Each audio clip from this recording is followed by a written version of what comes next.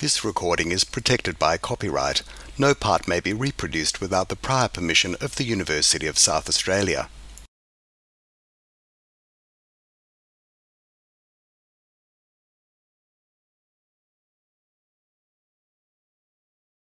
Good evening, everyone. My name is Jacinta Thompson, and I'm the Executive Director and Exhibition and Events Producer for the Bob Hawke Prime Ministerial Centre. Before we begin tonight, I would like to acknowledge that we meet on Kaurna land. We wish to express our respect for the Kaurna people, their elders, and ancestors, and acknowledge the spiritual and cultural relationship they have with their traditional land. Gives me great pleasure to welcome you all here tonight on behalf of the Hawke Centre and the University of South Australia to our presentation of Can Trees Talk, Think and Heal? And I would like to warmly welcome our international guest, Dr. Brian Pickles, and our interstate guest, Associate Professor Monica Gagliano, and of course, our very own South Australian brilliant facilitator, Professor Chris Daniels. So, uh, thank you very much for joining us tonight.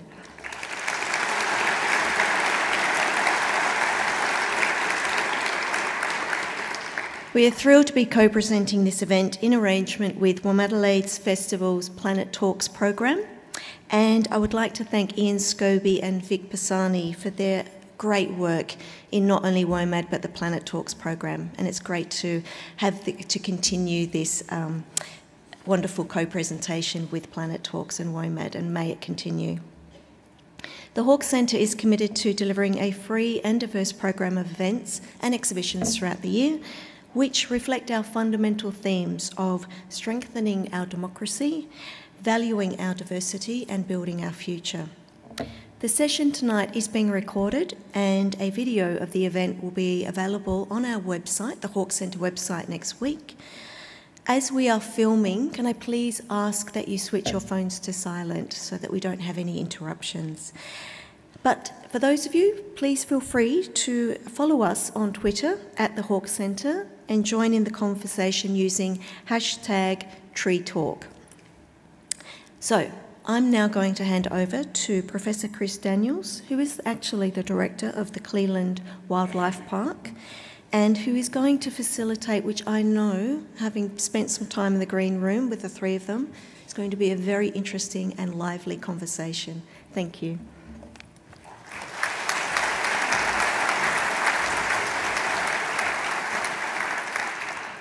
Thank you very much, Jacinta.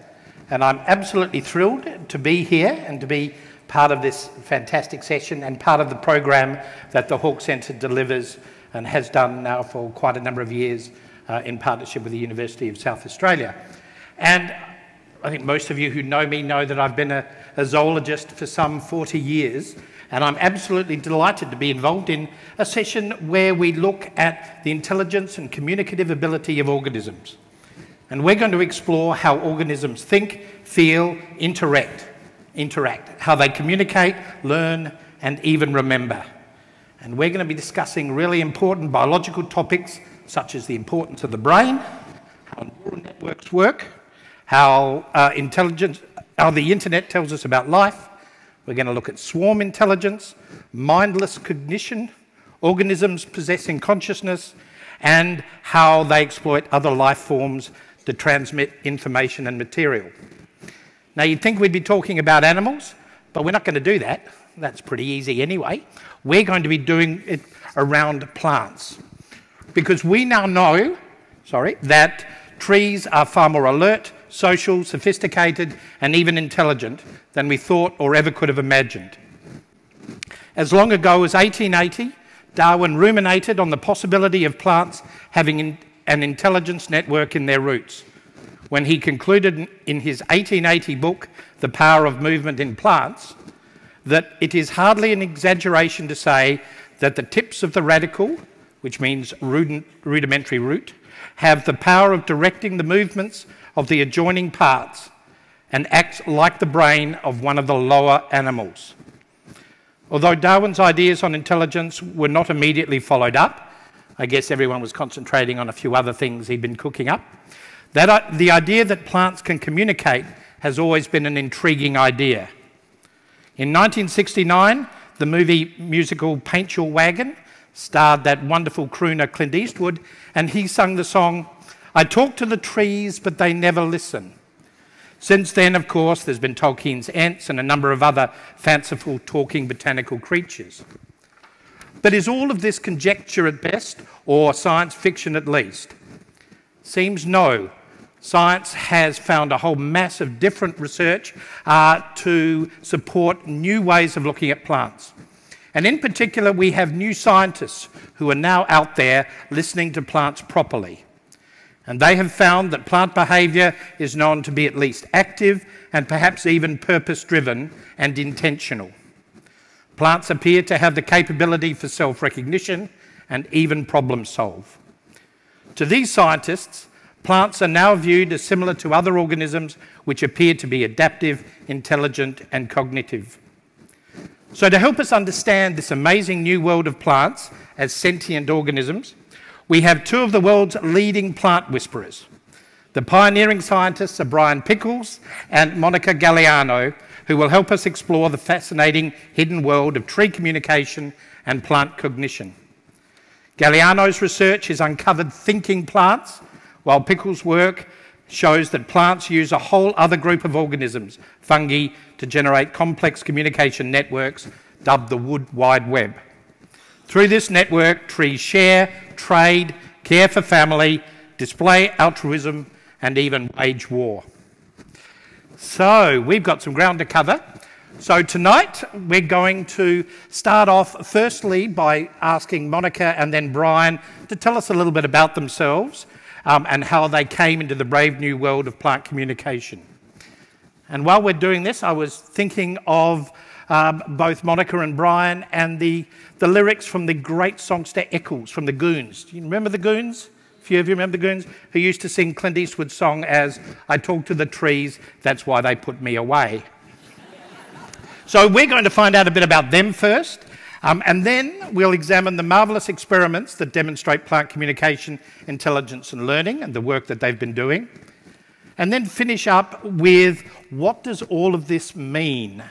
So, for, what does it mean for understanding the biology and ethics of plants? What it means for understanding our world and our role in it? And just as intriguing, what does it change in the world of science, where language, methodology, and objectivity are prized above all? maybe we need to think about science differently. As part of this process, we've been collecting some questions from the audience, and I've included that in my 11 pages of questions here. Have we got any questions? I've included your questions in here, and I'll read them out um, verbatim because I don't want to be accused of editing your questions. And they'll be in part of this. So, let's get on with it. Starting you with you, Monica, tell us a little bit about yourself.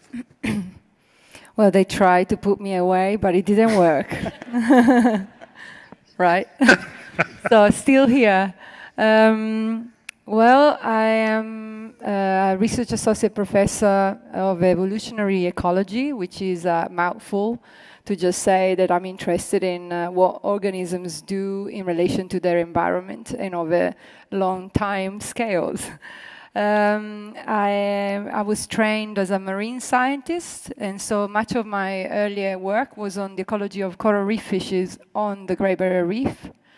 And, uh, and then I got interested into plants um, while I was asking the same questions that I used to ask uh, when I was working with animals. So for me, plants uh, became uh, simply the subject of the same question, and I didn't see them uh, as most of the plant sciences um, would see them.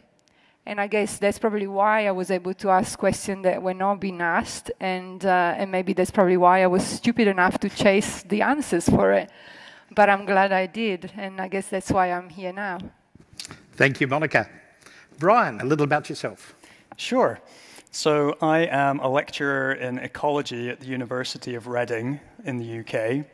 And uh, I also started out working on wildlife. My undergraduate degree was wildlife management at the University of Edinburgh.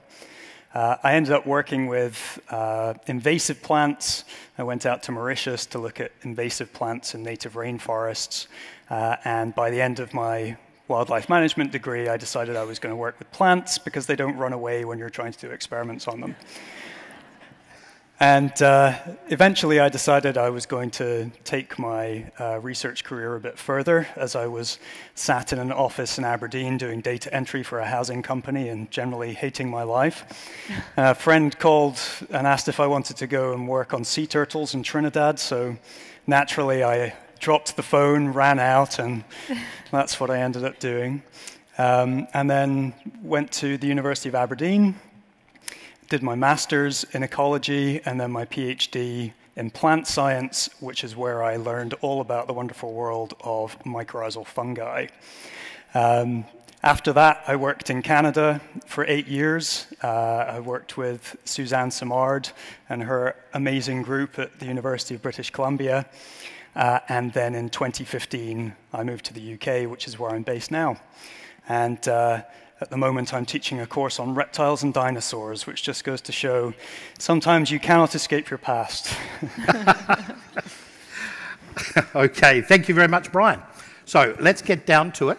How do we know that plants communicate? Well, let's look at the evidence, and I'd like to start with you, Brian. Tell us about the experiments with giraffes and acacias. Okay, so Chris surprised me a little with this question. It's not something I've actually worked on, but it's a very nice, clear demonstration uh, of plant communication. So, giraffes, when they're eating uh, the leaves of acacia trees, they really don't like uh, tannins. And tannins are a plant defense chemical uh, that they activate in response to herbivory. So, when a giraffe goes and starts eating the leaves of an acacia, uh, it's able to get these nice, fresh, tasty leaves. But the plant doesn't like this very much and it starts producing tannins. And it also produces this chemical, uh, ethylene, which is spread through the air. And when another acacia detects the ethylene, it starts to trigger its own defense response. So the nearby acacias will start to produce tannin in response to a different plant being attacked by a giraffe. And uh, researchers have seen that giraffes will actually uh, go quite a long distance from the first tree they've been eating to try and get around this uh, active plant communication response. So thanks for that one, Chris. You surprised me that, with that. So I like to open with a curly one, keep them on their toes. And the great thing about that is giraffes actually know that the plants are secreting these chemicals and telling other plants so they start feeding downwind so they can sneak up on the acacia um, in, in order to make sure they eat it quickly before it starts doing this stuff. So it was really one of the first demonstrations that one plant is sending signals to other plants. And that was in airborne, but Monica, you've shown us that corn seedlings make clicking sounds, and you actually founded the whole area of plant bioacoustics. Maybe you could tell us about your experiments with corn and sound. Well, I guess um, again, coming from an animal behavioral background, um, sound is one of those things that is uh, widely studied, and it would make sense to any human as well, because most of our communication is uh, so focused on sound and how we speak and language and all of that associated to it. And um, so when you come from an animal background in, in, in research, uh, the question of sound is just like, yeah, and which, uh, which model are you using for that? But it's nothing special. Uh, and yet, uh, when you look at the system, suddenly you see that uh, one of the best signal to transfer information, acoustics, uh, might be, be totally overlooked. And so there is, I guess, many possibilities for that, but two are the obvious. One, they simply, that system doesn't use it. Or two, they use it and we haven't looked at it. And so it was a mixture of uh, personal interaction and uh, with various bodies of knowledge, including the literature from anthropology, where a lot of the stories from all sorts of cultures around the world talk about humans and plant communicating and literally communicating using sound and um, humans listening to the sound of plants. And I was like, okay. And this story has been there for a long time. So either it's a story that we really like and keep repeating, but from an evolutionary perspective, evolution, even in terms of culture and knowledge, has a tendency to kind of remove the stuff that is not really useful. So, for a story like that to remain in our culture for so long, well, maybe there is something in it that it's useful. And, uh, and so the first step was to test whether, well, do plants actually emit any sound? Or do they perceive sound? Can they? And uh, so the experiment that you're referring to with the corn was kind of the first attempt to test for that question.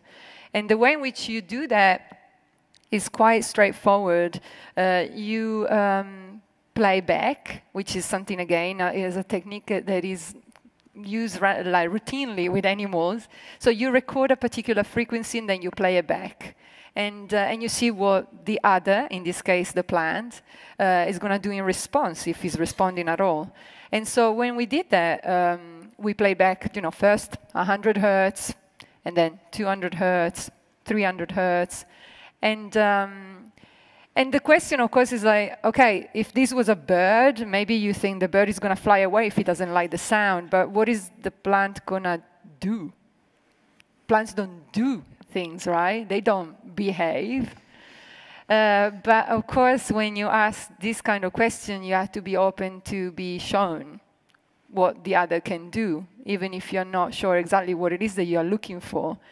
And so, what the plant, in this case, what the corn seedlings did was at a particular frequency, only at a particular frequency, their roots started bending um, towards the sound source instead of growing straight to gravity. And they only did that between 200 and 300 hertz. And then for the other frequencies that we were playing back, they were just growing with gravity straight. And of course, that doesn't say that they didn't hear those frequencies, it just says that they're not kind of interested. And um, why, we don't know. And why would they lie to 200, 300 hertz? We also don't know yet. But of course, that opens, and I think this is a good sign of healthy science when there are more questions open than no answers found. And this is exactly one of those situations where, yeah, too many questions. And, and that experiment then, Monica, was um, replicated by David Attenborough in one of his Curiosities programs. no, he was actually sitting on my chair. Yep. and I had to say, when he came to, because that was done with colleagues at the University of Bristol, and when uh, we were told that uh, Sir Davo, as we Davo, called it, yep, that's the Australian way. um, was coming to the lab. Of course, he was like, yeah, well, it's cool, but you know, who cares? then he turned up, and he was like, he speaks like him. it's him.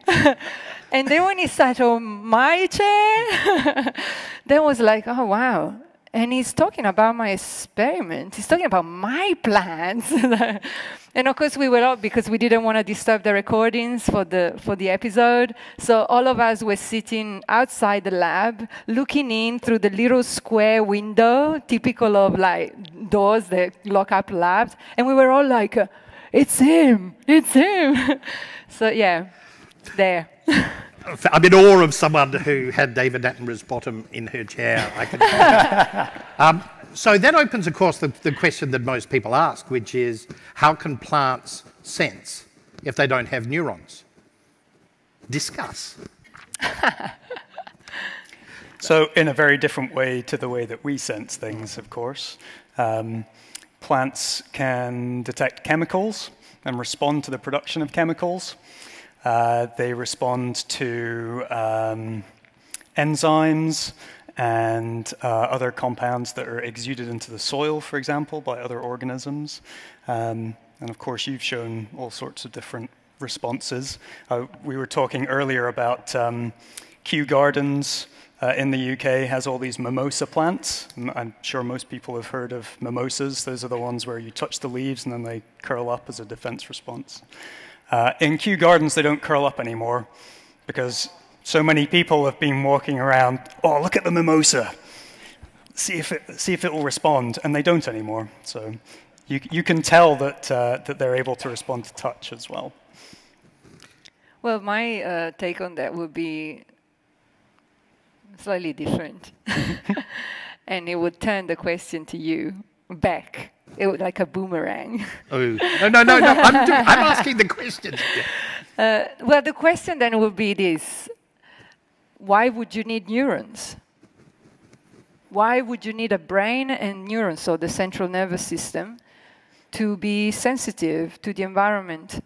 In actual fact, even humans and other animals which have brains and neurons of different sizes, um, most of the time do not make the decision uh, in a rational way. So by thinking about it and using that beautiful brain to reach the appropriate conclusion, most of our decisions are made uh, basically on a rule of thumb. So the, the technical term is heuristics, and they're basically like gut feelings and like uh, common sense and all of those. And uh, they do not need the brain to intervene. And in fact, it's good that it, the, the, brain doesn't intervene because they, we are already so overwhelmed by informational fields that surrounds us all the time that if the brain had to process all of that, it would just uh, burn out straight away.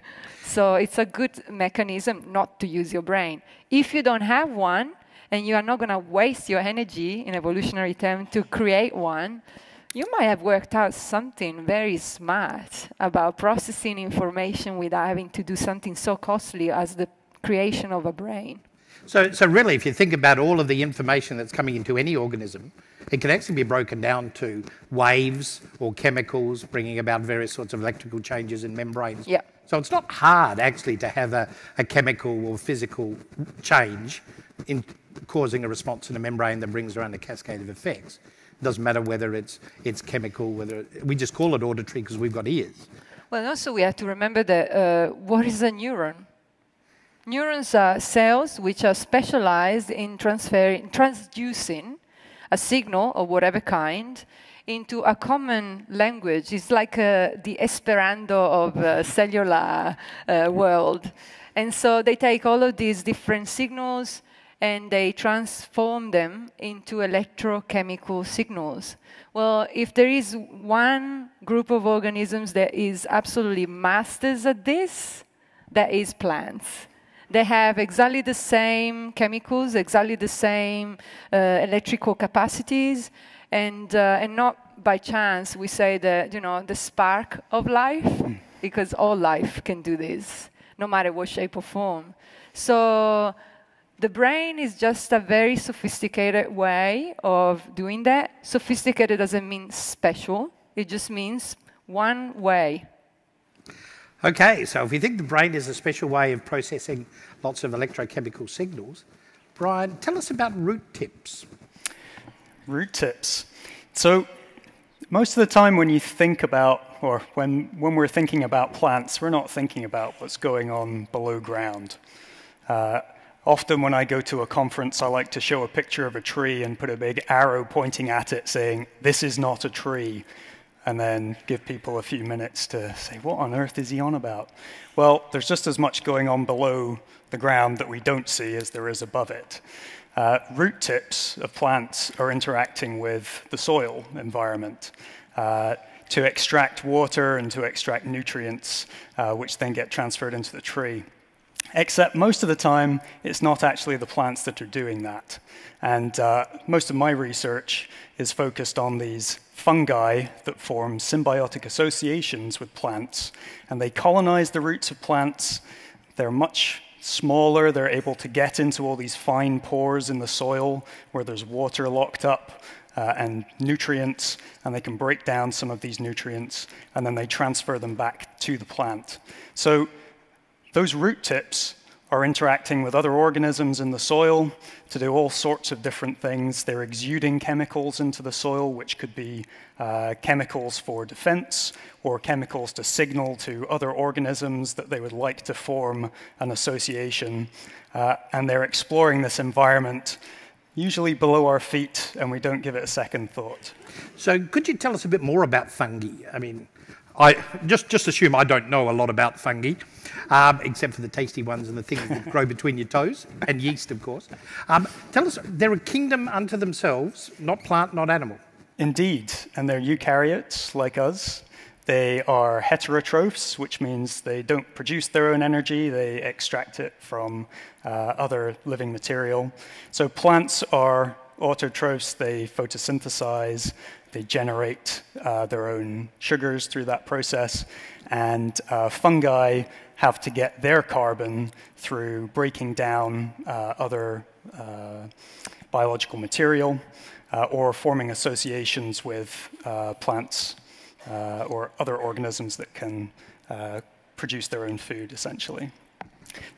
Yeah, they can be parasites as well as. They can be parasites, and normally when people think about fungi, they either think about the mushrooms uh, that they're eating with their dinner, or they think about uh, fungal diseases uh, of humans or fungal diseases of trees. Um, very rarely do we give much thought to all of the really important uh, positive uh, mutualisms that are going on in the environment due to fungi. So you've got this situation where plants exchange information through leaves and flowers, got that. Now we're saying that root tips are really important for both giving out and receiving signals, because they're the pointy end of the, the underground part. And you've got these mycorrhizal fungi spreading all out and connecting. How did you show that? Tell me the experiment with the bear and the salmon. Okay, so this is a Simard Lab experiment um, this isn't one that I've done myself, but I know the people who are involved in it. Um, when salmon come into a river, they have just come from the open ocean. The open ocean uh, has a different uh, quantity of a uh, nitrogen isotope in it. Most of the time, when we think about isotopes, we're thinking about Geiger counters and radioactivity in science fiction movies.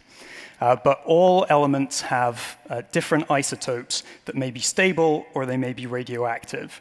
And it's a measure of uh, the number of neutrons that that element carries.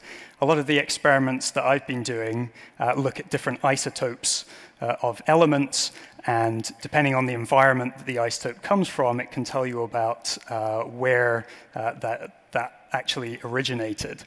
So, what the group that have been working with bears and salmon uh, have been looking at is you can actually see the signal of marine nitrogen that has been introduced into a forest by salmon. So, the salmon come into the river from the marine environment, bears catch the salmon, and then they take them into the forest to eat them. And then the rotting remains of the salmon get absorbed by fungi and you can trace this uh, 15N from the salmon into nearby trees because it's been picked up by fungi and then transferred through their hyphae into the trees. And uh, there's been some great research in British Columbia showing that you can actually see when there have been really good salmon runs based on the N15 content uh, in trees. So it actually leaves uh, a characteristic uh, trace inside the tree that you can detect by doing elemental analysis with some very expensive machinery. but that's, that's really an incredibly exciting find because you've then been able to build on that to go, okay, salmon rots, picks up by fungi, puts into trees. And then the trees can do all sorts of things with that material back into the fungi. And you've shown that they will support their offspring, but not others. They, you will have mother trees looking after at distances, trees a long way away. Tell us about those experiments. So, uh, the idea of mother trees is that um, essentially you have these big old trees, maybe Douglas fir in those Pacific Northwest forests, uh, and they support this huge community of uh, symbiotic fungi. I always think about fungi, there's always bacteria and other uh, microorganisms involved in this process as well. But essentially, you have these big old trees that form networks uh, with fungi, and the fungi can extract uh, minerals, water, um, other nutrients from the soil and then transfer them back to the tree, but they can also get transferred from the mature trees to seedlings nearby. So I've done some work with a great master's student who just graduated uh, this last, last year, uh, Gabriel Orrego, who's uh, in Chile now. And uh, what we were doing there was coming up with a way to actually inject labeled sugars directly into a mature tree and then trace where those sugars went in the environment. So normally the tree is producing its own sugars through photosynthesis. It will transfer those down into the roots and transfer them into the fungi in exchange for different nutrients. So what we were able to do in this case was inject a labeled compound, so a sugar that had an identifiable isotope on it, and then look to see where that isotope ended up. And we found it in nearby uh, seedlings that were just starting to grow on some decaying logs nearby.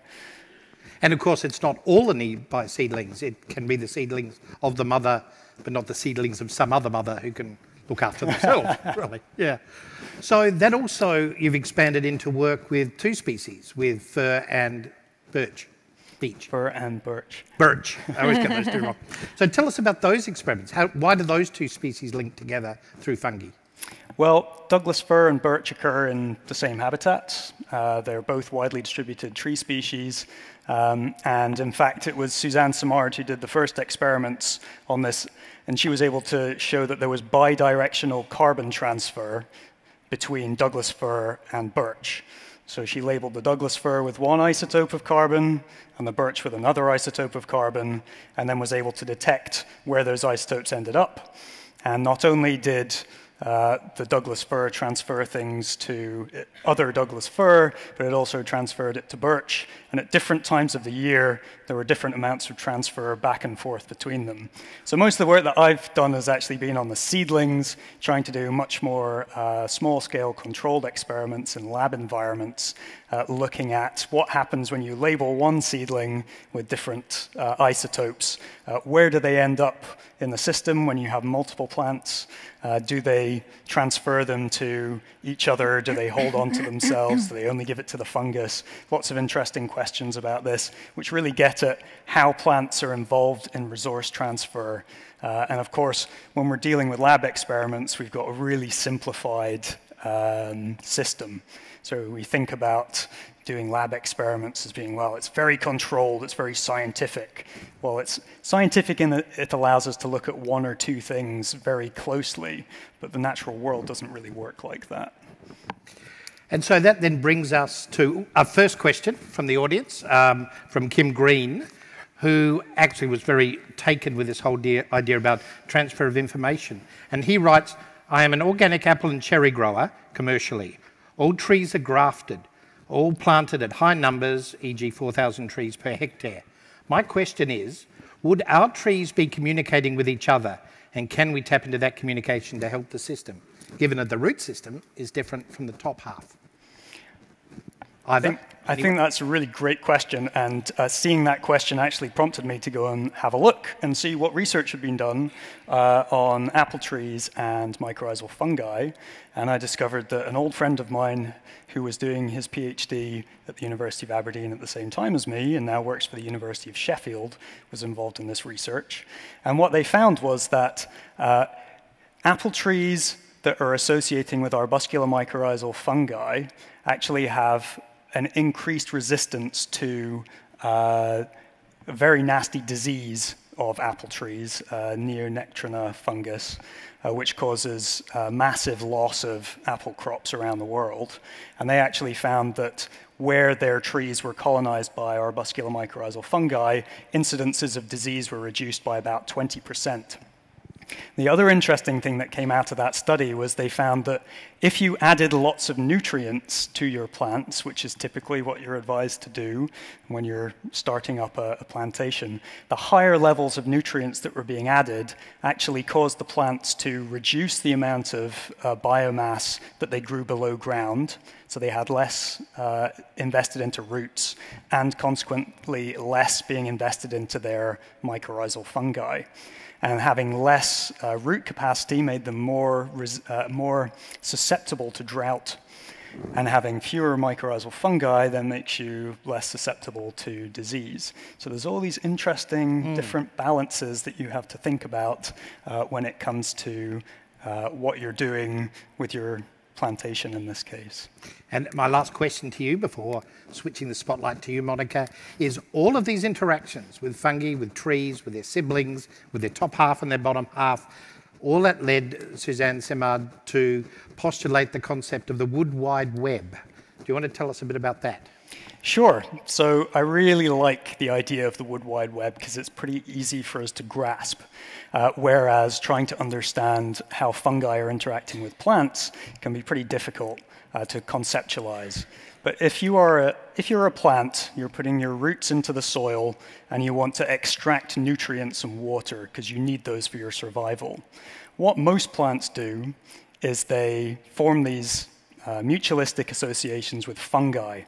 Now, fungi form a mycelium, uh, which can spread out through the soil uh, in these little microscopic hyphae. And the hyphae have a much greater surface area than plant roots could ever have, which means they're much better at extracting nutrients and water from small isolated pockets, and they're much, uh, much more able to respond to sudden changes in the environment. Now, what this uh, hyphal mycelium can do is it doesn't just necessarily connect up to one plant, but the same fungal mycelium can link two plants. It can link two plants of the same species, or in many cases, it can link plants of different species. It can link trees uh, to herbs, um, trees to grasses, and so on. And you can have uh, individual fungi that link up multiple plants from multiple species and you have multiple species of fungi. So hopefully you can start to see just how complex uh, the soil ecology is.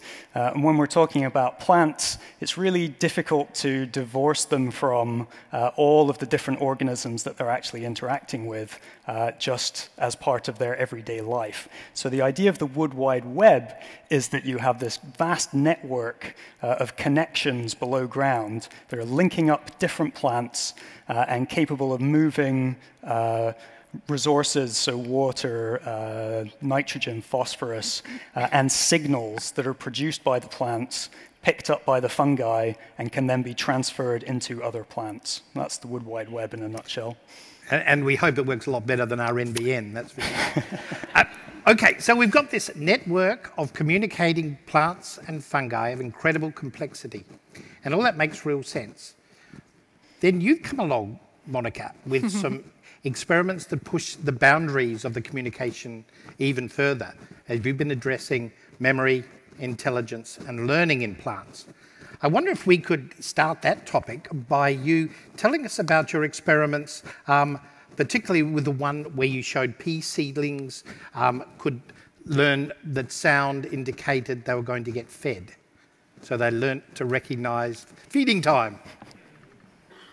Well, first of all, I should say that um, the ultimate goal of all this uh, sharing of information, of course, is so that you can do something about it, and um, and you don't want to have to learn what to do with it every single time from scratch, and that's where learning as a process comes in.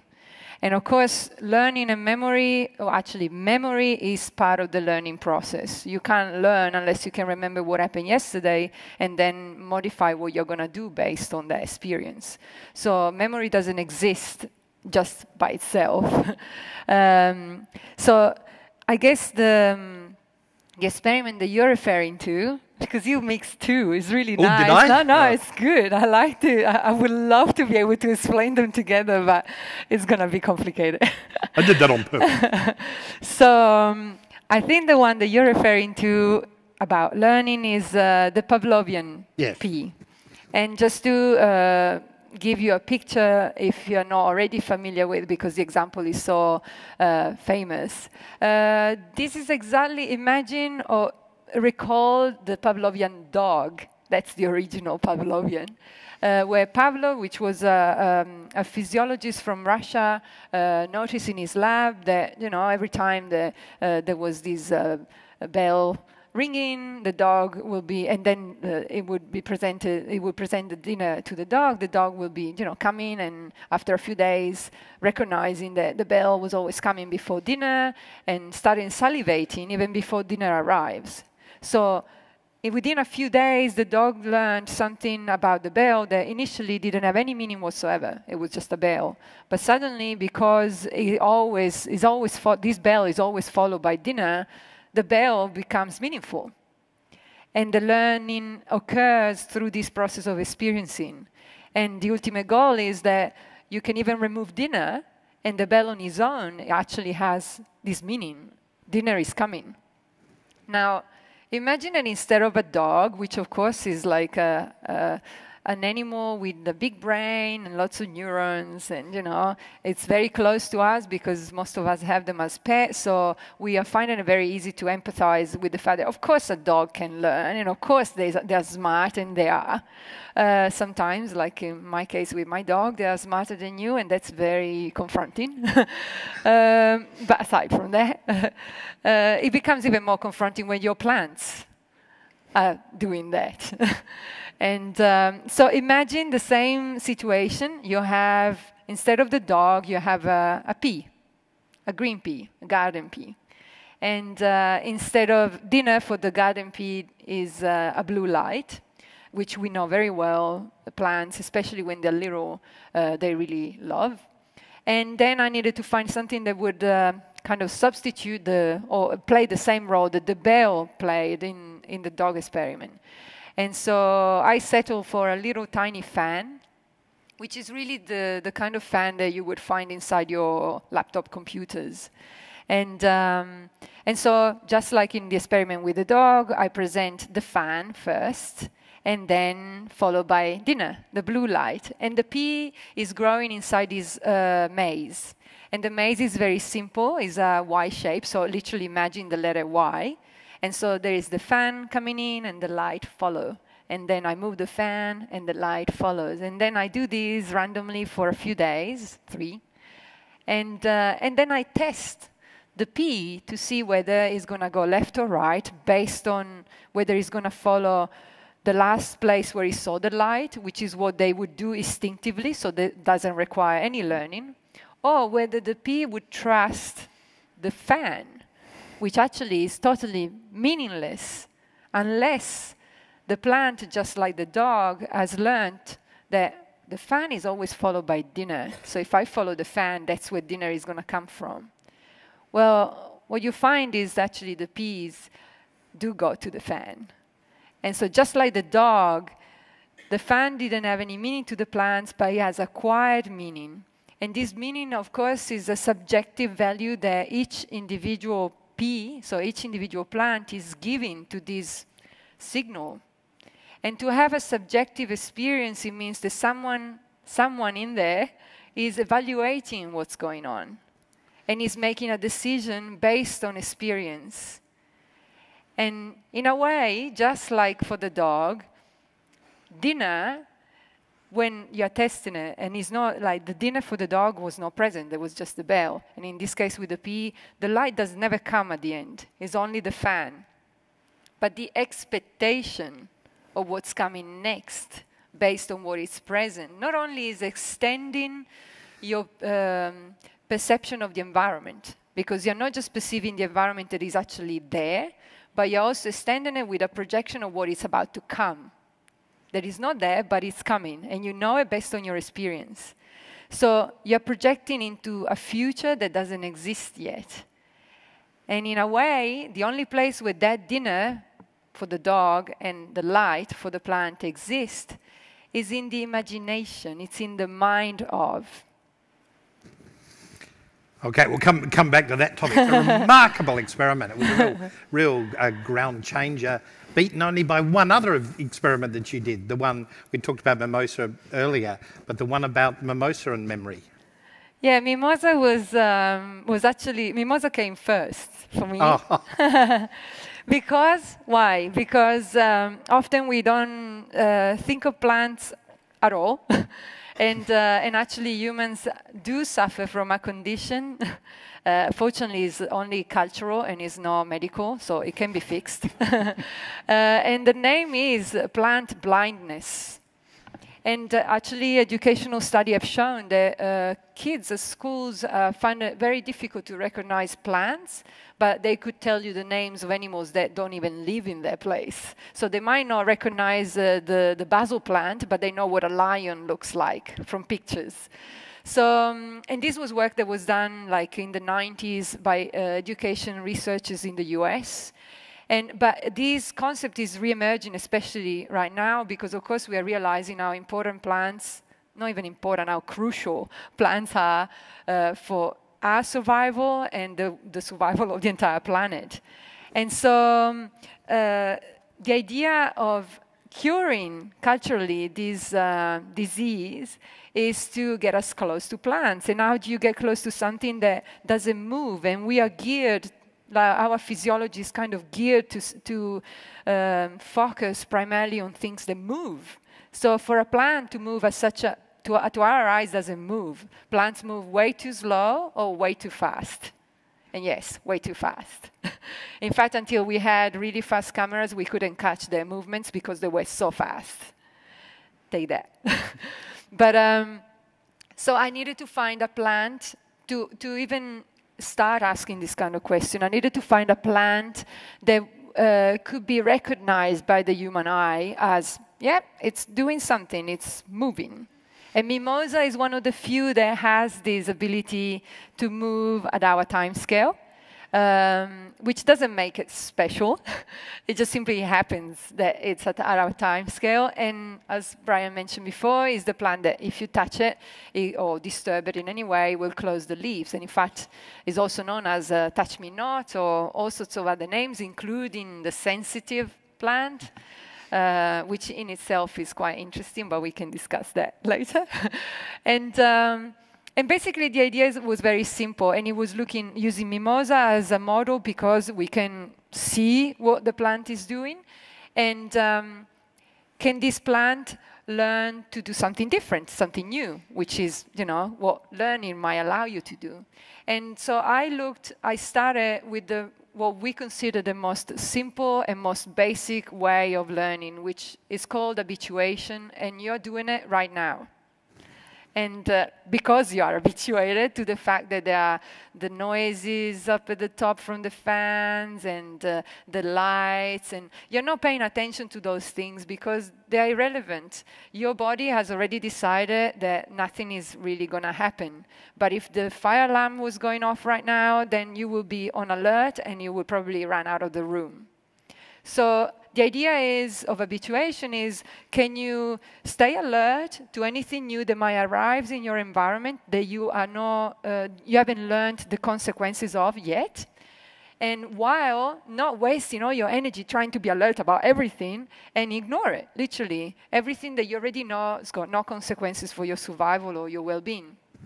So in the case of mimosa uh, i dropped it literally. Yeah. So I created this little vessel. It's a bit like a roller coaster, right? So uh, this little vessel, the plant goes in the vessel, and the vessel is attached to this um, rod. And, uh, and I literally let it drop with gravity. It's a controlled drop, and no plants were hurt in the process of these experiments, of course.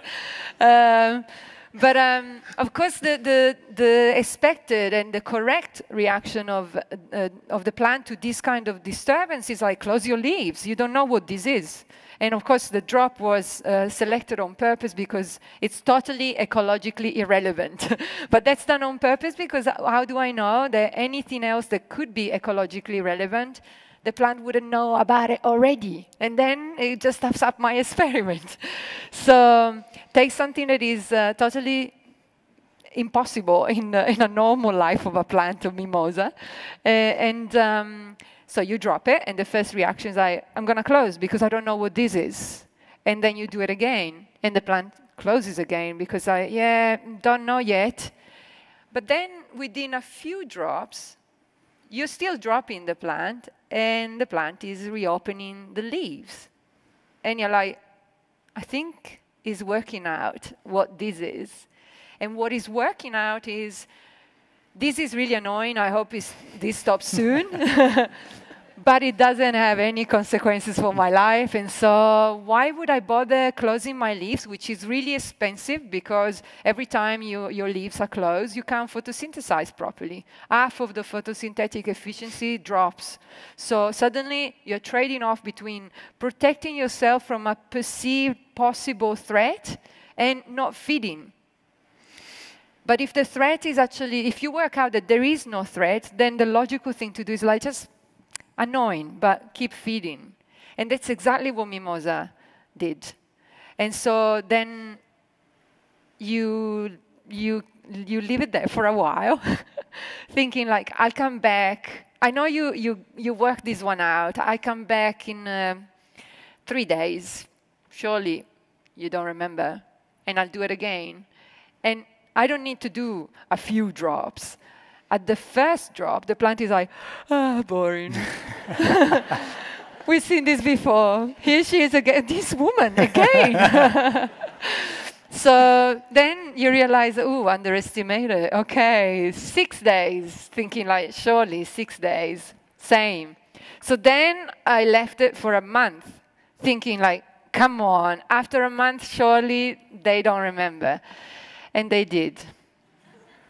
So if you thought that your dog might uh, show how uh, uh, ignorant you are about the world and how smart he is, well, try and work with plants. When they show you off like that, you really feel like, oh dear. so that, those are two outstanding experiments that really challenge um, our perception of intelligence, which then, when you link with the way that plants are talking to each other through fungi, we've got a whole different way of thinking about smarts, as you pointed out with, the, with your dog.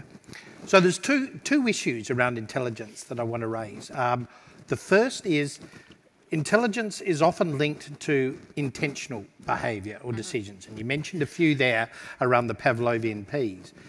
Do you think you need to be intentional to be intelligent? And the second form of intelligence that's been put forward is swarm intelligence. So I wonder if you'd like to comment on those two intentional and swarm. Discuss. well, first of all, uh, intelligence comes from the root base uh, interleger, which means uh, choose between. That's what intelligence is about choice. And uh, whenever you are making a decision and you're choosing between options, there must be an intention for going towards one and not the other. And I would argue that um, all life has intend to survive and intend to thrive because um, that's what we actually see. Then we might want to simplify the model and only say that the humans has intention, just because that's the one that we are familiar with, and often we are not quite sure about our own intentions either. But, um, but I would say that all life, uh, life doesn't just thrive you need to go and search for your nutrients, look for your water, make alliances. Some alliances are convenient for a time and then they're no longer. Uh, you need to work out whether it's worthwhile closing, not closing, feeding, not feeding. It's like, why would you need to work it out if you're just working as a machine? You just do A plus B plus C and you off you go. But they don't, nobody does that, no matter what form of life you are. So I would argue, and I can imagine that this probably is uh, contentious, but I would argue that all life intend to be life. Swarm intelligence. Don't ask me about swarm I guess we've got topped on it when we did I, the Wood Wide Web. We did kind of touch on it on the Wood Wide Web. I was just thinking what Monica was saying there made me think about uh, how there are some trees out there that have been alive for 5,000 years. Mm. Individ- one individual tree, we're not talking about clones here, we're talking about an individual organism that has survived for 5,000 years, dealing with uh, long term changes in climate, short term changes, extreme events. Uh, and of course, the tree is associating with all these other organisms. Um, you can't survive 5,000 years without some form of intelligence. Call it ecological intelligence, if you will. Mm-hmm. I think a lot of the issues that we have as humans in trying to define intelligence is that we start out with a base assumption that we are the most intelligent thing, and we get to define the terms of what intelligence is. So, depending on how you use your language, uh, you can reframe the question. But thinking about things in terms of survival, I think trees are amazing organisms because they are able to respond to uh, these long term changes uh, in the environment, if people don't come along and cut them down, of course. Which is why there's this wonderful term tree time. which is, again, comes to your point about we keep thinking about things in our own frame of reference, which is understandable, but what if there's a completely different set of frames of reference? So. No, what if? That if, that's exactly right. there are different frames, and we. This one is only one. The, yes, yes. Which is a mistake we always make, isn't it? We think it's the only one, or the the, the best one, one or yeah. the one. So that brings us to obviously the important question before we lead on to the philosophical segment of tonight's discussion. do do you accept that, or think, or acknowledge, or reject the idea that plants are sentient?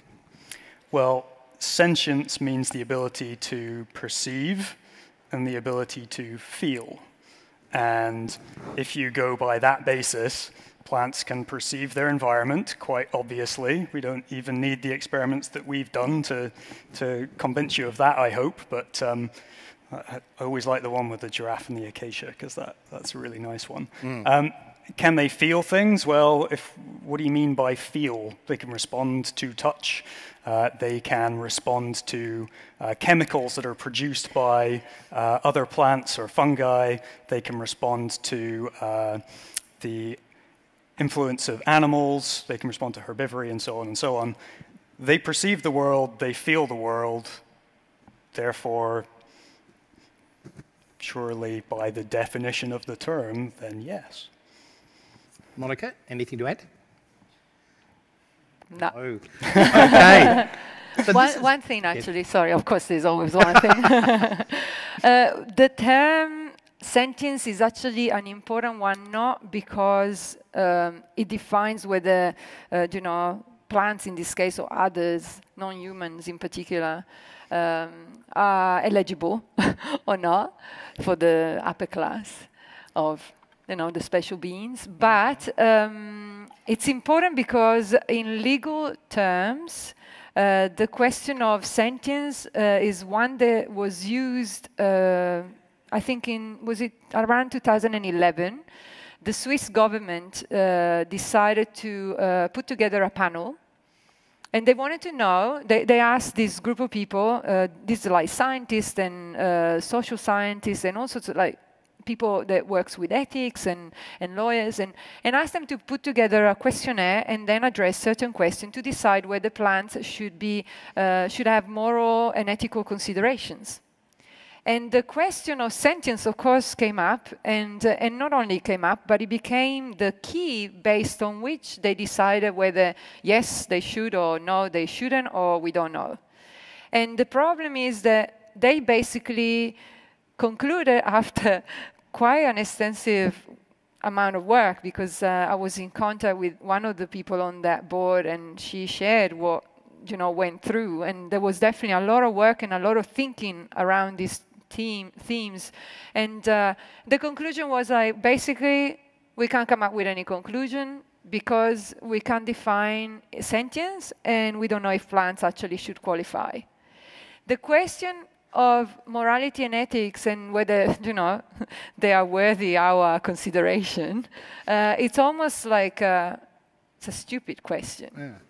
But yes, no, it is. It's, it's a very silly question because again, we're we're thinking about it from our viewpoint. Exactly. Does the plant give a damn what we think about them? And should they not uh, receive our consideration, regardless of whether they are sentient, even if they were not sentient? So yeah. what? That we, we, then we are free to do whatever we want, which is exactly what we are doing, and that's why sentience become a very loaded word, and in this context is particularly important. But I have worked with a legal um, theorist and earth lawyer, and uh, here in Australia, and basically, we came to the conclusion that sentience has, as a concept, has changed over time, which in itself tells you that actually we don't really know what we mean when we use it. So, why such a fleety and so unspecified word should be used to define so clearly uh, whether plants, in this case, but it could be anyone else, uh, should be deserving our respect? So it's an open question, but of course, I hope that the answer is pretty clear as well.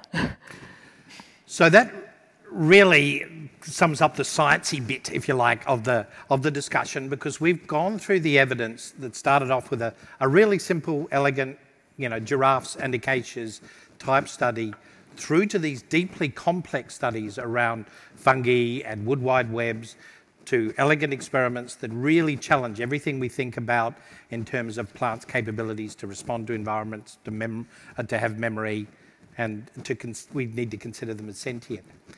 If you follow down that track, you then open up a whole mass of, of sort of conundra and issues that we face as, as a community. And I want to tackle these three, what, which is really about what does your work mean and now mean for us. What does it mean in understanding how the plants we live with um, and how we should be living with them and how we should be managing, quote unquote, managing plants? Um, what does it tell us about understanding the process of science and understanding our role in the environment? So, the first thing then is from what we have learnt about plants. What does this tell us about forestry and the way we should be, quote unquote, managing plants, agriculture, horticulture, and the like?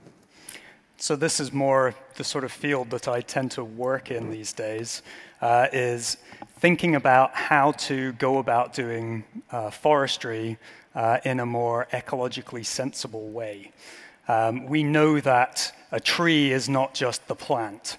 A tree is, uh, well, Lynn Margulis came up with this great word, uh, holobiont, which is an organism uh, that depends on all these other organisms for it to be the way that it is. So with a tree, you have all its fungi, its bacteria, and uh, all these other organisms that contribute to how it uh, expresses its uh, physical form and how it interacts with the environment.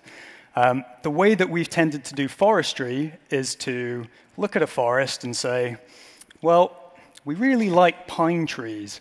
So, what we're going to do is rather than have to go into a forest and pull out the pine trees, we're just going to grow a whole bunch of pine trees together in one place, kill everything else that tries to grow. That way, we'll eliminate the competition because we're very, very primed to only think about competition as the important process uh, in ecology, when in fact there's a whole spectrum of different interactions that organisms are involved in. Uh, and so we end up with these big monocultures of pine trees or eucalypts or uh, these horrible little Sitka spruce plantations that we have in Scotland. That when I was a kid growing up, I used to think that was what forest looked like. And then I went to the west coast of British Columbia, and instead of these Sitka spruce being these tiny little pole like things that grew in dense square clusters, it turned out they're actually these massive great trees with trunks like this that could be two or three hundred years old and form these amazing ecosystems. The way that we've been going about forestry is to basically say, well, we know everything there is to know about how you manage things, so we'll grow lots of these trees together. They'll be really easy to cut down, uh, and then we'll just replant and it will all start over again. Um, and of course, what we've been discovering is that it doesn't work very well when you have wildfires going through and pest outbreaks, which both of which are increasing due to uh, climate change. With global warming, the average temperature of the planet is getting hotter, and extreme events are occurring more often, and it's usually the extreme events that end up killing things off. Uh, we get these big plantations, you get one pathogen comes in, and it can wipe out most of the trees, and there's, what, 100, 120 years worth of growth pretty much gone. The usual response is then, oh, we'd better go and cut everything down so we can make some money off it. and then we have a nice barren cut block that we need to regenerate. So, a lot of the work that I'm doing now is looking at how to leverage natural processes to help encourage uh, forest regeneration. Uh, and Suzanne Simard and I came up with this Mother Tree project uh, where we were able to uh, get some money from the Canadian government to go and investigate how different types of forest harvesting techniques uh, could be utilized in different environments uh, to improve your chances of restoring a forest afterwards. So, forestry is one of those things where we've tended to apply a one size fits all approach, and yet what we find is, of course, the same species different populations of that species can respond differently to different environmental cues. Over the distribution of a species, the environment changes. So the way that the plants interact with the environment uh, can change not only in situ, but as climate changes and you try and move it into different places. So what we're trying to do is use all of these natural uh, beneficial uh, interactions to help forests uh, to regenerate in a more sustainable way and to try and move away from this uh, monoculture, uh, try and make as much money off them as quickly as we can uh, type approach. And it's not just the, the monoculture issue, it's the lack of variation within the monoculture. Monica, you've got some quite strong views about um, no. developing, uh, losing the variation within a species. They're not strong views. They would be very emotional, and as scientists, we are not emotional about issues. We're going to get to that in a moment, yes. But, uh, well, no, it's, it's pretty simple, and we discussed this before, um, and I have made this point uh, also in my writing, writing before.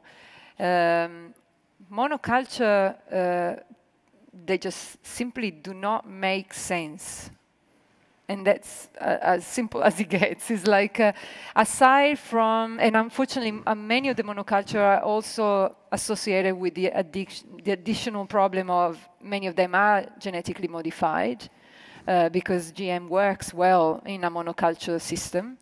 Um, but the entire setup is, uh, it's not, I would say it's not scientific because uh, if you actually are being scientific about the issue without getting emotional and without getting involved in whether it's ethical or not, or whether it's good for you or not. Those are other questions. But from a bare minimum, like, is this a scientifically valid approach?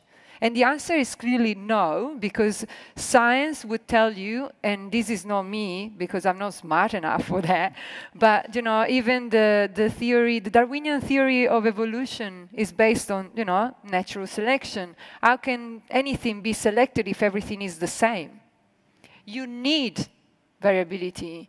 And in fact, the, we know well in ecological system, the most, uh, the, the system that can cope best at times of hardship, like when you have a fire, when you have big uh, cyclones coming through, it doesn't matter whether this is a terrestrial marine system, the, the rule is the same you need biodiversity levels high, as high as possible, because that is kind of like is an insurance policy. Someone will go and will be taken, but there will be others who are just the right one that can make it. If you have only one type, like in a monoculture, and it just happened that your type is the wrong type for the event that is coming, well, you lose everything. So monocultures, from a scientific perspective, are the antithesis of what nature is doing. They reduce variability and they're not interested in biodiversity. And the problem with that, aside from the obvious, is the fact that not only uh, we, are, we know that you know, they are more susceptible and everything, but the crops, because that's how we call those plants, crops, they're not plants. Uh, the crops that we are uh, using in our monoculture, some of them, some of the species are already losing the capacity, uh, which we are just barely starting to appreciate. They're losing already the capacity to communicate, for example, in condition of where they can communicate for defense. Like the acacia, they can tell others, hey, there is a problem over here. And this is actually, you know, we have scientific data to show that this is the case for plants like cacao. Can you imagine? No more chocolate. yeah, exactly. This is serious. okay, so on that point, we've got a second question from the audience from Joe Frank, who said, I would like the panel to respond to the following. If trees can talk, think, and heal, is there still a case for allowing clear felling of a forest, since that is the equivalent of ethnic cleansing? I love that. Hot question. question. Hot question, Joe. That is a great question. I hate clear cuts. Not only are they awful to work in, uh, they're horrendously disturbed environments. Um, there are very few natural disturbances that would cause the sort of uh, disturbance to the soil uh, and to the trees as you get with a clear cut. Um, but oftentimes they're just absolutely vast. And the assumption is if we go in and plant a bunch of seedlings in them, then they're going to be able to take off and form a new forest. And what you tend to find is that the bigger the clear cuts get, the harder they are to regenerate. Why might that be? if you scorch the earth and then expect it to instantly respond. I think there are lots of better ways to go about forestry, and really by this point we should know that clear felling is not a good approach.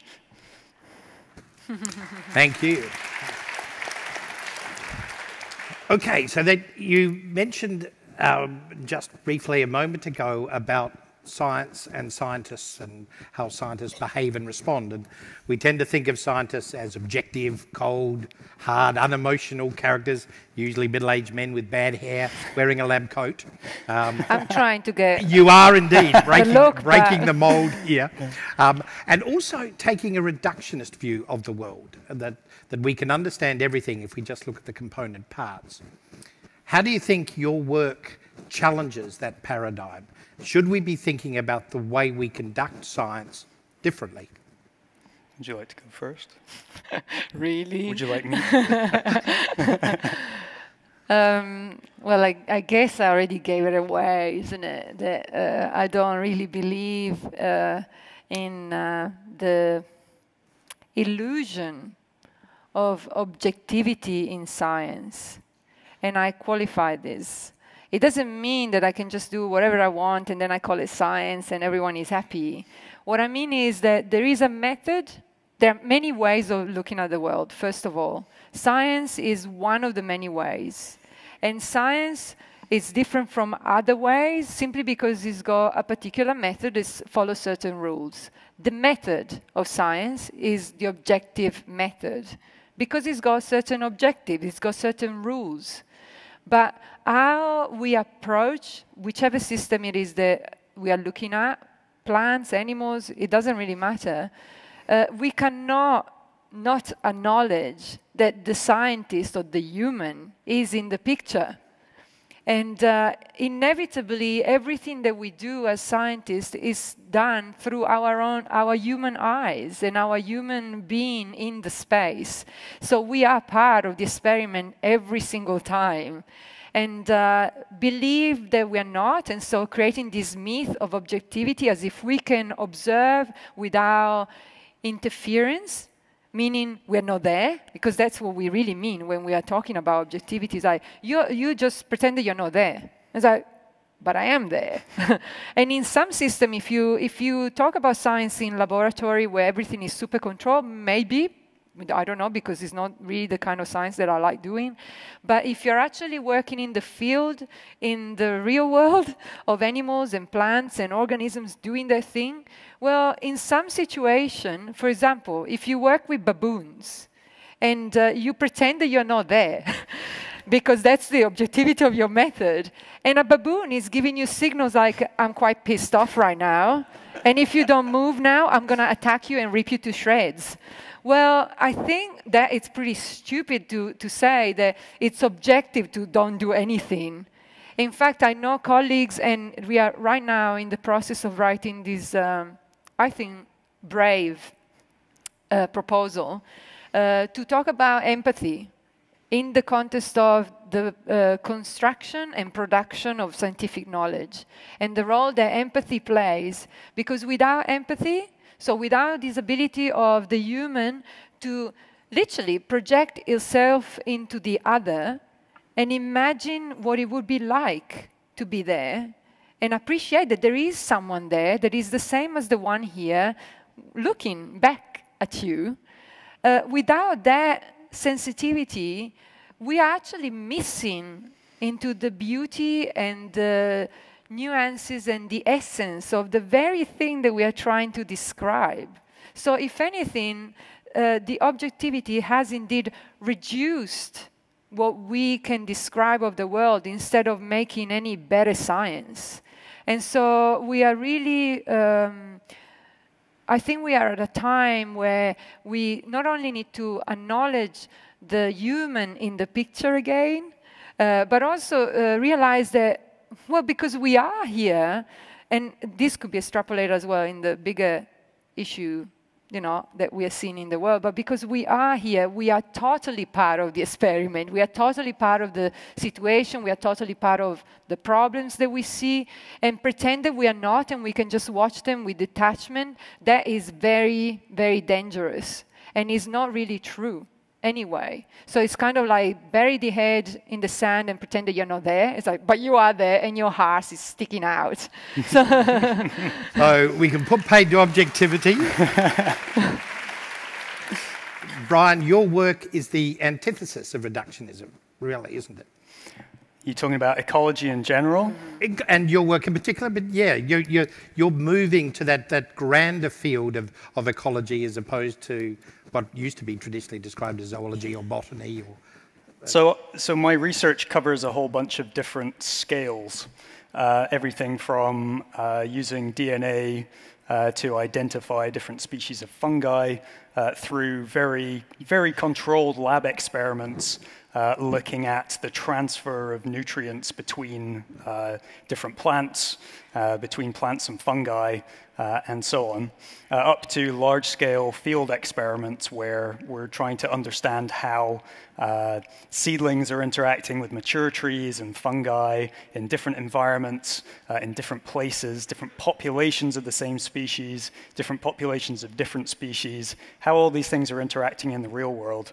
Um, and so it covers this whole range of different interactions. And yeah, you can be really objective and set up really nice lab experiments where um, your peers will go, hmm, you did a really good job. That's, uh, it's difficult to argue with, uh, with the results of that experiment. Uh, through to working with natural ecosystems where there are so many variables that if you want to control your variables, you are inevitably changing the outcome for the mm-hmm. system. So we're doing all these experiments in the lab and we're doing them in the greenhouse. And in my field, we're ten tending to work with seedlings because for some reason they won't give you 50 years worth of funding to grow a bunch of trees and then yeah. study them it's later. Fundamental very, flaw in our system, isn't it? Very flawed system. So most of my work is actually with seedlings, and this stuff with trying to label yeah. mature trees is a new approach to trying to get around that issue. But we know that seedlings interact with a different, or they don't always, but they often interact with a different and reduced set of mycorrhizal fungi compared to mature trees. So you already know that there's a different level going on there. And the fungi are interacting with different bacteria. And you have plant growth promoting bacteria and bacteria that promote the symbiosis. There's all these different layers there. When you're working with seedlings, you, we, we do all these great experiments and we see all these interesting things happening, but you cannot then say, well, that's what the mature tree is doing as well. Mm-hmm. You need to go out and see what's happening with a mature tree. And if you're talking about a 200 year old tree, that tree has had to, it, it's come from a seed. That seed landed in the soil, and it happened to be one of the ones that managed to survive because it was able to form associations with other organisms. The conditions happen to be right for it to be able to grow. Um, it's experienced all these different periods of change. It's been able to respond to those different changes without moving. It's been in place the whole time, so having to respond to all these changes. Um, trying to then package that up into a highly objective experiment where you only test one or two differences, you're always going to miss uh, something. And because you can't measure everything, and even if we could measure everything, would we actually be able to understand how all the different processes were A, interacting with each other, and B, how the tree was interpreting those mm. different responses? So, yes, I do lots of very objective scientific experiments where you can package things up. so do you. Yeah. And you know, like with the how are the plants responding to the, the light and the sound? That's a really nice experiment that you can do in a lab. I've also done stable isotope probing out in the field. And trying to do this stuff out in the field is it's great because you decide the week that you're going to do your research, it's 40 degrees at 6 in the morning. And when you're out in the sun, in the cut block that you're trying to regenerate, you're getting attacked constantly by horseflies. And when you go into the shade of the surrounding forest to try and get a bit of a break from the sunshine, you get murdered by mosquitoes. Yeah. and you're doing this all day, and you're putting these little sampling bags on these seedlings, and then injecting uh, 13 C labeled CO2 so that the plant has to photosynthesize with 13C, which it would normally discriminate against, so that then when you come back a week later and look to find out where the 13C is gone, you know that it had to have been photosynthesized by that seedling. And as soon as you start the experiment, you're on a timeline because you have to go to every site and start the experiment and finish it in the same amount of time because different types of signals uh, are, happen on different, type, different scales. So the signaling compounds, when you talk about when a plant gets attacked by an insect, those signaling compounds get transferred really quickly. Mm. When you want to look at where um, nutrients are getting transferred to, when they're getting converted into biomass and stored in a plant, that can take a week, two weeks maybe. Uh, to go into one plant, get transferred into the fungi, and get moved around. So, depending on the question you're trying to ask, you're working with different time scales. And in the field, maybe it's going to rain the day that you did your experiment, and that's going to change the way that the plant's interacting with the soil. And how's that going to have a knock on effect to what you discover at the end? And so, I like doing the greenhouse experiments because then you know exactly what yeah, happened. Yeah. But when you then go out into the field and start doing these experiments, you're like, oh, well, this is what happened on Wednesday, so hopefully a week down the line when we come and sample these things, maybe we won't see the signal of that thing that happened. You just, it's layer on layer of complexity, and it's, it's wonderful working in ecology yeah. because there's always new crazy questions or you ask what you think is a simple question and then you get a horribly complicated answer that leads to more. I know the feeling. You're welcome. Thank you. All right, so. Any problems? any problem. so we've challenged some of the fundamental aspects of science. The, the last one I want to do, outside of just reductionism and objectivity, is language. Ooh, and we got a great question. Um, oh, no, this is going to be a problem. We got a great question from Dame Roddy Emblem. I'm not sure that's a real name, but um, and um, who asked a question I would like to put to your panel regarding talking trees and other speakers who present talks on similar subjects concerns praxeology, the praxeology nature of their studies. The term science embraces all knowledge, while anthropocentric praxeology concerns itself largely with aspects of the natural world that have interest for humans, and especially those that may be of use to humans. Praxeology should not be confused with science. So I guess what that question is really challenging is do we only like to do the science that relates to us. Otherwise, there won't be time left for you. You do have to keep it short. We're 7:22, and I haven't got on to the good one. Got two questions to go. Well, okay. So I think in science, well, we're trying to uh, accumulate knowledge um, and understand the way that the world works. Whatever field you go into, uh, we, we really like to partition science up. This is a, a human thing. We like to decide that the type of science that I'm doing is ecology, and the type of science that Brian Cox is doing is astrophysics. And it's all a way of partitioning up this grand area of science, trying to explain the natural world. Um, after a while, you start to partition that up into so many different things that you start to wonder why we're just giving all these different names to what is essentially an exploration of trying to understand the world. Uh, and I would argue that with the types of experiments uh, that we're doing, it is very much science that we're doing. Uh, the interpretation of the results uh, is always open to uh, human interpretation because we're all humans. So that's, that's just how that works.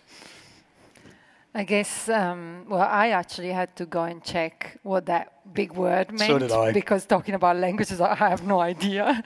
but aside from that, I guess the only thing that uh, I might want to add is that, um, well, first of all, um, at least, and I, I know from Susan that uh, the same is true for the kind of research that you guys have been doing, but I know that my research is being used by many other disciplines. Uh, from the arts to literature and philosophy, law, economics. Uh, so science, uh, whether we like it or not, is not isolated in a silo and it just stays there. It will uh, have, it has consequences, and, it, and, what we find will get interpreted in very different ways depending of the who is looking into. And ultimately, at least talking for myself in the science that I do, or what drives me for the science that I do, is um, of course, it's the human. It's the only one that hasn't got it, like that didn't get it the plants don't need to know that they're intelligent, that they can do all these things. They're doing those things. And they don't need the human to confirm, oh, now, okay, now that you yeah. passed the Pavlovian pea test, you're good to go. Um, so it is, of course, it is all about the human. But then the question is like, uh, does the human need so desperately science to tell what the world is about? As I said before, it's one way of exploring the world. As a scientist, I really like it, of course, and it's a beautiful way, like making music or painting. So that, that really brings me to my last section, um, which is really about us and nature. So your work tells us a huge amount about our role within nature, not standing aside from it, not looking onto it as if it's some strange planet out there that really we don't interact with. And I had a whole lot of questions, but I got completely gazumped by Bob Reeson, who sent through two questions, which will be my very last two. Seriously, my last two? Oh, okay. Um, Bob said, firstly, Inga Simpson wrote in the novel Where the Trees Were, these trees were significantly carved and symbolically marked trees. It must have been obvious to all that they were important historically. Obviously, First Nations people considered that they could perhaps talk, think, and heal.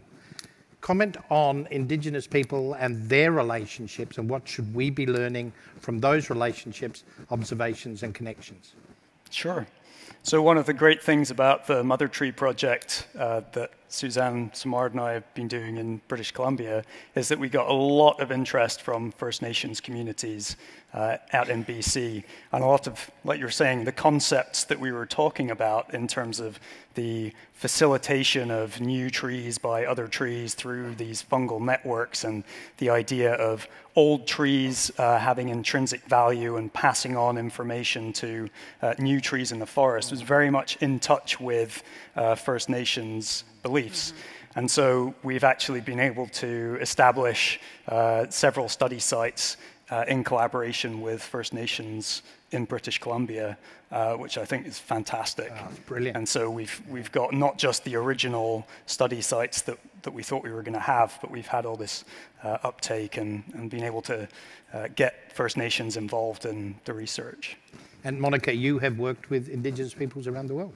I'd like to have worked more, uh, simply because, well, two things, I guess, um, because I know we are running out of time. One, uh, I'd like to highlight the fact that we are not um, with nature, looking at nature, we are nature. Two, we have forgotten this. And this is where indigenous people comes in and probably to me uh, probably one of the most important things whatever is up there, uh, probably the most important life saving thing that we have at this stage.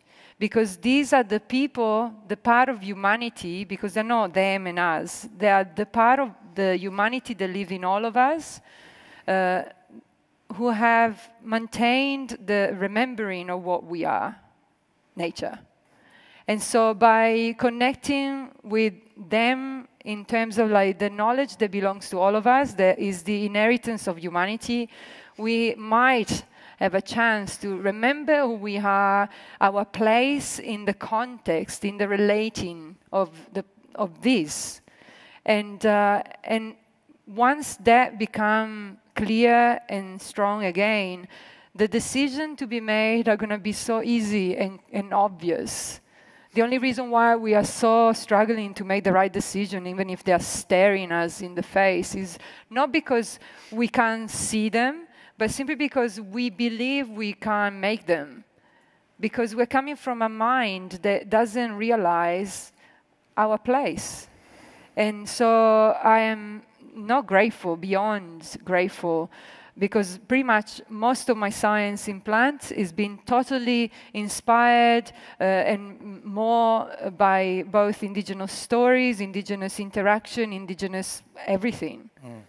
So uh, for me, uh, the human to remember uh, what human actually is, it needs to remember the, the roots. And they're the older yeah. of those roots. Fantastic. Thank you. And, and that really leads on to my final question, which was put so beautifully by Bob Reeson again. So I'll read this out. He said, I have a history of planting great gardens, and I would say that I am off to talk to the plants. This wasn't a reflection of me thinking that they wouldn't answer back, but enabled me to notice the daily small changes in leaves, buds, and watch for predators. However, I must say it grew on me, and I would find myself talking to the plants. Comment, please. Good on you. I think sometimes it feels like you can have a more sensible conversation yeah. with a plant. yes, well, that's forming that connection with plants, isn't it? That, that it, he is now deeply connected with nature in a way that we have lost for the vast majority. Um, forgotten. forgotten. We haven't Don't lost think anything. Lost? You think no. we've still got it? Yeah. Well, that gives us great hope for the future, Absolutely. then, doesn't it? So, look, I think on that note, um, I would like you all to join me in thanking Monica and Brian.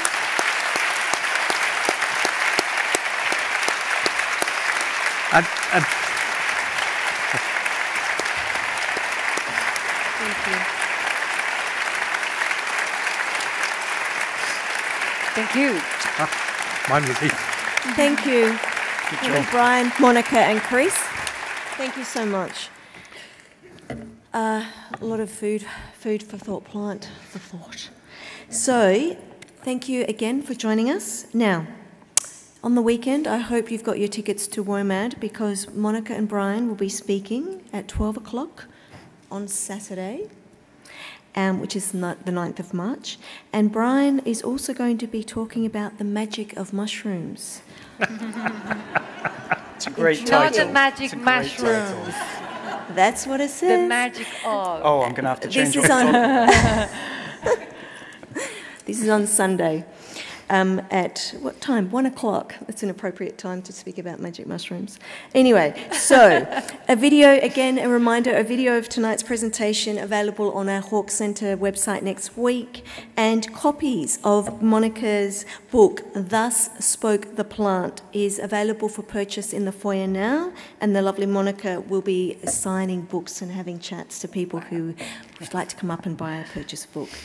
Um, again, thank you, and make sure you head into WOMAD. Vic, I'm sure there's tickets still available, only a few, um, for some fantastic global music and performances, um, you know, visual arts, all sorts of wonderful things. So have a beautiful long weekend, enjoy, and um, thank you again for joining us. Thank you.